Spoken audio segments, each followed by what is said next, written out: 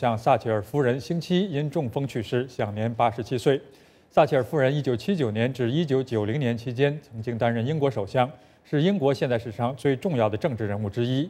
她执政期间正值冷战高潮，因其强硬的反攻立场，撒切尔夫人被前苏联媒体戏称为“铁娘子”。